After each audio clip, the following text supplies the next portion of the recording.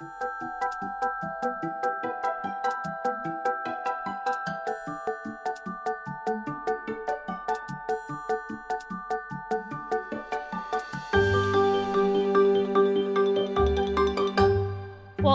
As a as someone who I, I write a, a, an advice column, it always sounds like a joke when I say that out loud. So I'm going to try to keep a straight face. But that is what I get paid to do, and I'm constantly on the hunt for uh, films about breakups, which is very different than a film that is a romantic comedy, in my opinion. That I love stories about people going through heartbreak and uh, the relationships they form while going through that heartbreak. So I just wanted to ask, sort of, you know, all of your films are really relationship films. I mean, that's sort of at the heart. And and uh, what films come to mind, you know, that influenced you in terms of you know being relationship movies?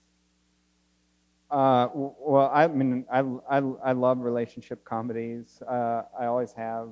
Um, you know, uh, I, I mean, immediately High Fidelity comes to mind. Uh, I think that's a, a- that's a great breakup movie. I mean, it's just great. Um, uh, but all you know, all, all over the place. Um, uh, you know, I was thinking a lot about my um, daughter. Strangely enough, uh, making this film and John Hughes. We were watching. She's 12, and we've been uh, we'd started watching John Hughes. Um, and uh, I was thinking I want to make something that's sort of a, in that in that sort of territory, but you know, where it's ultimately not about the guy at all. Um, uh, so John Hughes was a big influence, especially on on, on this one. Well, I, one movie that came to mind in that last scene was Say Anything, where there's that deep breath at the end and being on a flight, and yet to see it um, in a different picture with three women, uh, you know, in those seats, it was it was uh, very exciting that it explores female friendship as as much as it does romance. Well, yeah, th- thank you. There's one, I mean, I, I like the idea that uh, one of the uh, biggest characters in this story is someone that we only meet briefly at the beginning and the end. And then in the middle, Keith Stanfield's character is sort of like just in projection of her imagination, which is, uh, um, so it's more like an internal thing than, uh, you know, it's really about, I'm, I, I like breakup stories, I do. Uh, and, and to me, like part of the story of a, uh, of a breakup is when it, you know, it's over, but you don't feel done.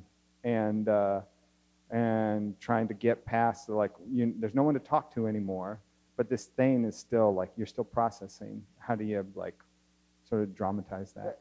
Thank you for that question. That's, uh, uh, the question was like, did I ever intend to show any of her creative work or creative uh, process in the film? And to me, um, I felt like I was showing some of her process in the fantasies with her ex, kind of like, I think in my mind, Jessica's work is very much like comes from her life.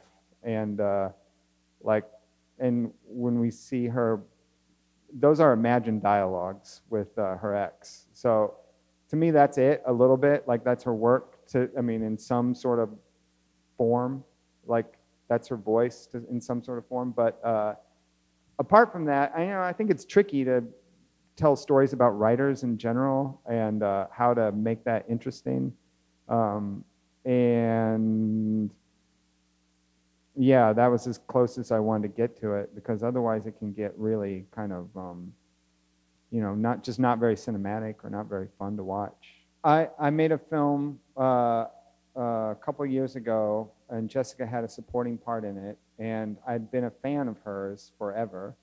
Uh, as soon as I'm a fan of The Daily Show, and as soon as she um, appeared on The Daily Show, I just uh, was just enamored with her right away. I just thought her, she's just uh, so fast, and um, and the topics she was covering on The Daily Show was just like everything about her was just just felt really exciting and fresh. Like what a voice. Um, and uh, and then I met her and we got to work together a little bit, and it was just fun. I just felt there was this um, easiness, kind of, and uh, you, you know, I said, I said afterwards, I think I'm, I- I'm gonna, uh, I'm gonna write something for you. And uh, she said, well, you know, go ahead, I'll read it. Uh,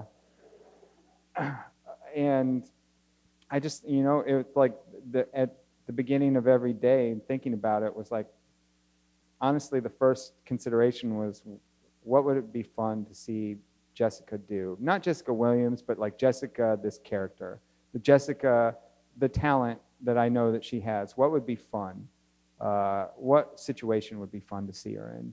And that was kind of like motivation while writing it the whole time.